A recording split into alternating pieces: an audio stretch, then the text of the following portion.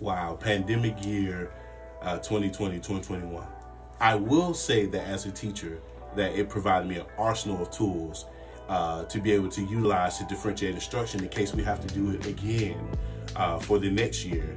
And I will say that I enjoyed the process because I didn't have as much experience teacher online. And I applaud every teacher, every professor who had to do it and who continues to do it because I was not aware of uh, the strategies and the preparation that goes into teaching online. Um, this year, everything seemed normal uh, for the most part, except for what we had to do to keep kids safe when they came back. So we started in phase one. This is where I provide instruction uh, online to students. Yeah, somebody else has something they want to say? Uh, I do. Um, ahead. Uh, for me, I kind of like older music just because my parents and my other like family used to play old music around me.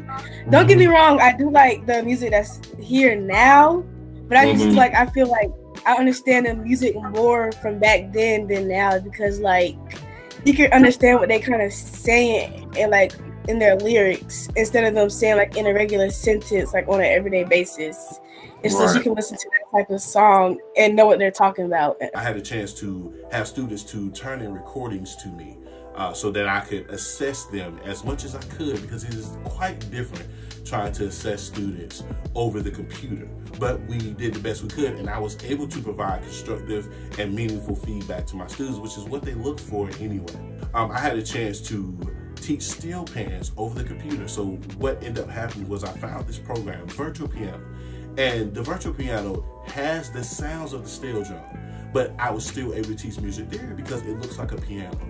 And so the students did uh, get the steel drum timbre, but they also had the chance to learn the keyboard at the same time. So if I wanted to go back up and I wanted to restart that, okay, I could restart right back at the top and I could take it as slow as I needed to. Right.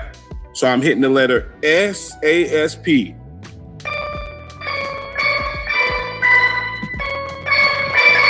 Okay, so that is where I'm starting.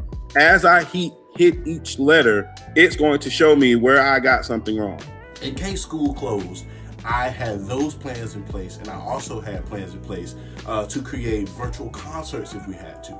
So I had bought di- all these different softwares. I bought a new iPad.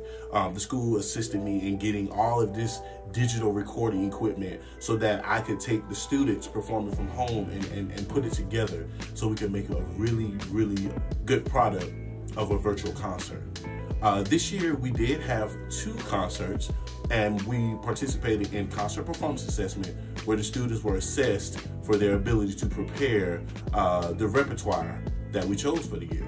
Um, and for what we chose, it was very challenging and the students rose um, to that task and, and they did a very good job.